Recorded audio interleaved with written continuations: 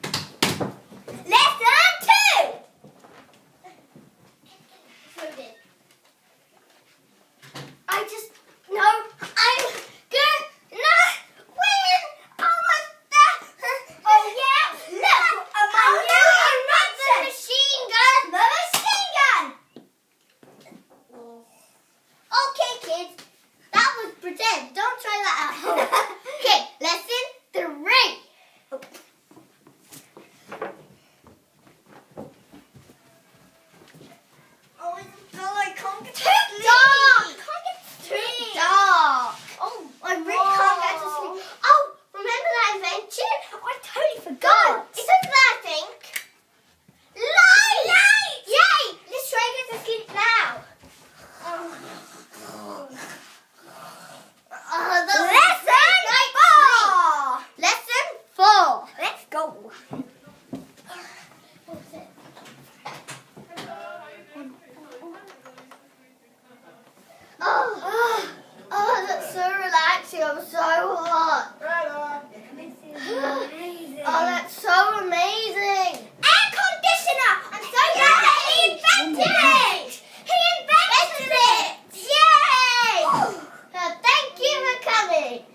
And thank you.